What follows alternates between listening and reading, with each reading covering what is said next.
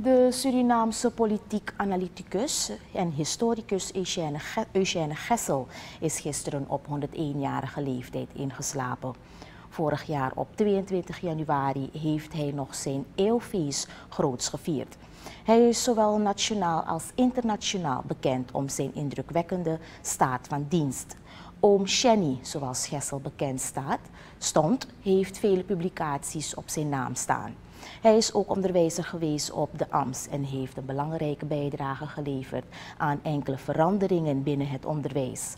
Als cadeau op zijn 100ste verjaardag werd de Hoge Straat, de straat waarin hij werd geboren, bij presidentieel besluit naar hem vernoemd.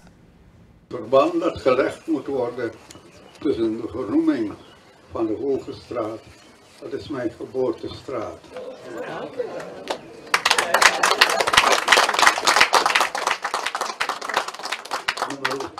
80, dat is dan het derde perceel rechts opgaand vanaf de toenmalige Rust en Vredestraat. Ik wens de bewoners van de huidige dokter Eugène Albert alle goeds toe. Eugène Gessel op zijn 100ste jaardag. Hij ontving in 2011 ook een eredoctoraat van de Anton de Kom Universiteit van Suriname.